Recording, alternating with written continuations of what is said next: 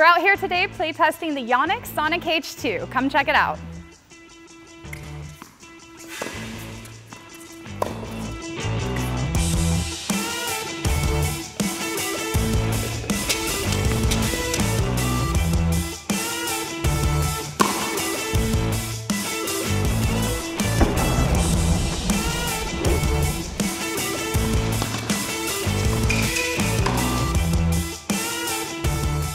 We just wrapped up our playtest of the Yonex Sonicage 2s. And now Yonex shoes for me have always run a bit narrow and I have a narrow with foot. So I was very excited when I slipped these shoes on and they do have that narrow fit for me. I didn't have any extra room in the toe box or any slippage in the heel. When I was able to walk down to the court, I didn't have any break-in period.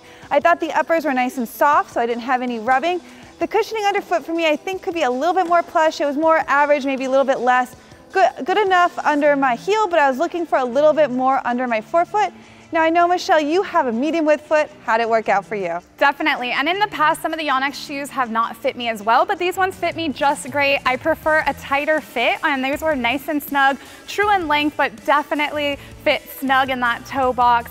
The first thing I actually noticed, and putting these shoes on was the tackiness from the outsole. And normally I really do like a tacky outsole, but it was extra tacky, so I did feel like that needed a bit of a break in. But as Britt mentioned, that cushioning underfoot is definitely more responsive than plush, but that's okay. It kept me moving quick on my feet.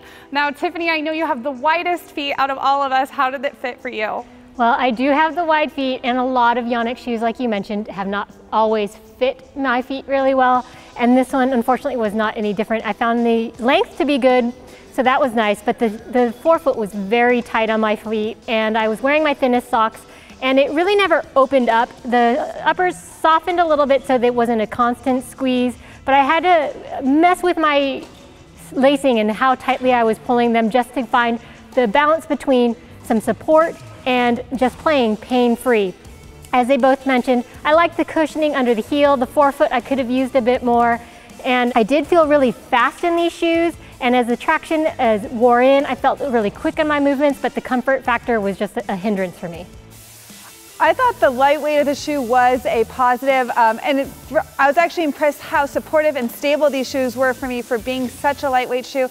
I've had previous ankle injuries and these shoes, I was able to sit nice and deep in, cinch the laces nice and tight around my ankle, and I didn't have any extra movement within the shoe or um, any fear of rolling an ankle. Now, like Michelle mentioned, I did think the traction was a little bit sticky for me at the start. I was definitely getting stuck a couple times, but as that play test wore on, I definitely started to feel that they were smoothing and giving a little bit more. I would have to agree with what Britt just said as these are a light shoe, but they are still stable and supportive enough, which is something I really demand from my footwear on the court. All in all, we think that these are an awesome option for players with medium to narrow width feet looking for something stylish and speedy. Be sure to go to Tennis Warehouse, Tennis Warehouse Europe, or Tennis Only to get a pair.